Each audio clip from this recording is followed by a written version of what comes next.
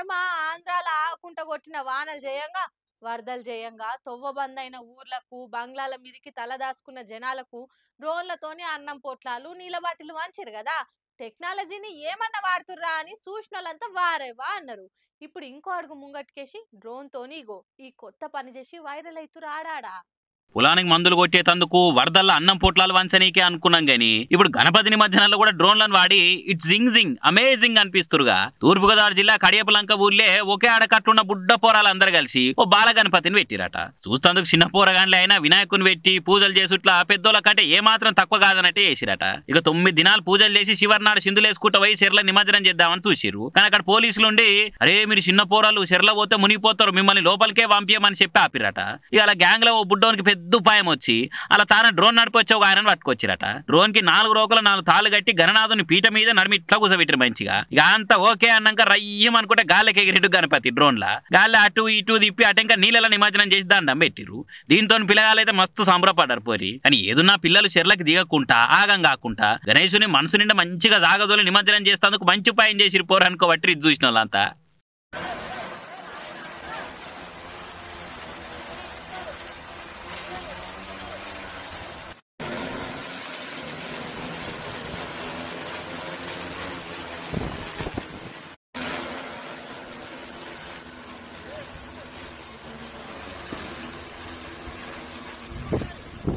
Pasa tiempo,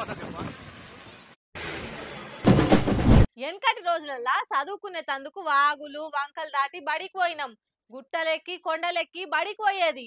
బురదల బుక్కులు నెత్తి మీద పెట్టుకొని పోయేది అనుకుంటా వెనకటోళ్ళు అలా కష్టాలు చెప్పేది. నిజానికి ఇప్పటికి కూడా కొన్ని ఊర్ల పొంటి గసంటి పరిస్థితే ఉన్నది ఇంకా. అసొంటి జాగలల్ల పిల్లలు చదువుకు దూరం కావద్దని మంత్రి సీతక్క నియోజకవర్గంలో యశ్వంత్ ఈకమత్ చేసిందో చూడరి శతకోటి దరిద్రాలకు అనంత కోటి ఉపాయాలంటే గిదే. రాష్ట్రంలోనే తొలిసూరి కంటైనర్ల బడి పెట్టించింది మంత్రి సీతక్క. పదమూడున్నర లక్షలతోటి ఈ కంటైనర్ బడిని కట్టించింది సర్కారు. ములుగు జిల్లా కన్నాయగూడెం అని మారుమూల పల్లెటూరు ఉన్నది ఊరికి చక్కగా తొవ్వ కూడా లేదు. చుట్టూ దట్టమైన అడవి.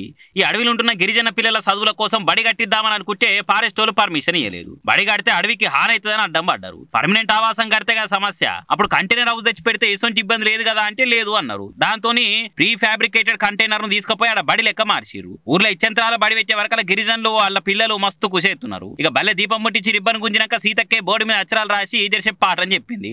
అటే ఇంకా పిల్లలను ఇట్లా కూర్చొని ముచ్చట పెట్టుకొచ్చింది ఇట్లా. పర్మనెంట్ స్ట్రక్చర్ లేకపోవడంతో కనీసం మరి ఎలాంటి విద్య వాళ్ళు అందుకోలేనటువంటి పరిస్థితులలో మేము వినూత్నంగా ఆలోచించి తక్షణమే వీళ్ళకు ఒక స్కూల్ నిర్మాణం జరగాలి అంటే మరి ఇక్కడ ఉన్నటువంటి వైల్డ్ వైల్డ్ లైఫ్ సాంచరీ ఆంక్షలు కానీ ఫారెస్ట్ డిపార్ట్మెంట్ సెంట్రల్ నుంచి ఉండేటువంటి ఆంక్షలు రీత్యా రీత్యా మరి తక్షణము వీళ్ళకు ఒక స్కూల్ ఏర్పాటు చేయాలని ఆలోచించడంతో వెంటనే కలెక్టర్ గారు మనం ఎట్లాగూ కంటైనర్ హాస్పిటల్స్ పెట్టినాం కదా మేడం. అట్లనే కంటైనర్ స్కూల్ కూడా ఏర్పాటు చేసుకుంటే పిల్లలకు తక్షణ మరి సదుపాయాన్ని ఇచ్చి మంచి ఎడ్యుకేషన్ ఇవ్వడానికి ఒక స్కోప్ ఉంటుందని ఈరోజు పదమూడు లక్షలతోటి ఫ్యాన్లు కానీ కింద కూడా సంపూర్ణమైనటువంటి బేస్మెంట్తో మేము ఏర్పాటు చేయడం జరిగింది. దానికి ఎలాంటి మరి అక్కడ కన్స్ట్రక్షన్ చేసి ఇచ్చినటువంటి అతను మాకు ఇరవై సంవత్సరాల గ్యారంటీగా కూడా చెప్పడం జరిగింది. ఏది ఏమైనా అందులో ఏది కూడా వేస్ట్ అయ్యేది లేదు. ఒకవేళ ఈ నిర్ మనం పర్మనెంట్ స్ట్రక్చర్ నిర్మించుకుంటే భవిష్యత్తులో ఖచ్చితంగా ఇది మళ్ళీ కాడ కూడా పెట్టుకోవడానికి అవకాశం ఉంటుంది. కానీ ఇప్పుడున్నటువంటి మరి అటవీ ప్రాంతాల్లో ఉన్నటువంటి పరిస్థితుల రీత్యా ఖచ్చితంగా ఇలాంటి ఇంకా రెండు మూడు కూడా మేము స్కూల్స్ ఏర్పాటు చేయబోతున్నాం.